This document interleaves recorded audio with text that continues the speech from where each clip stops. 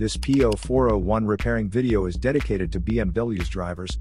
If your BMW is getting a P0401 error code, this video is going to show you two practical solutions to fix the error code at home.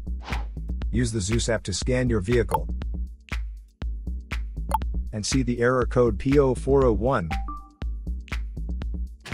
It indicates the engine control module detects the EGR valve is not flowing enough recirculated exhaust gases when it is commanded to open the flow of gases into the intake manifold.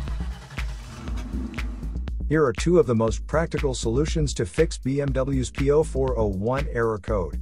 Method A, the EGR valve.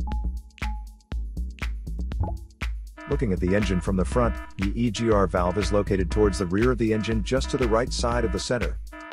First, carefully remove the EGR valve from your car.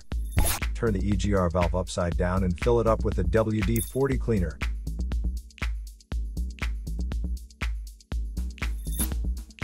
Let it soak for 5 hours for the solvent to get rid of all the carbon buildups.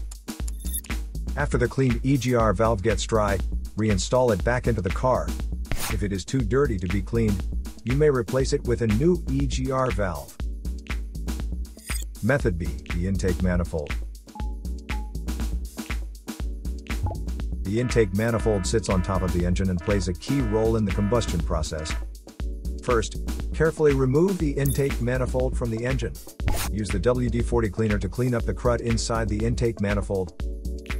And wipe it well to make sure all the carbon buildup is now removed. Reinstall the intake manifold back after the cleaned intake manifold has dried.